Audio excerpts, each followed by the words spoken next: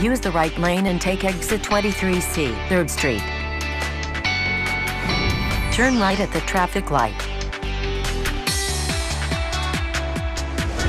Traffic congestion in about 1 mile on 3rd Street.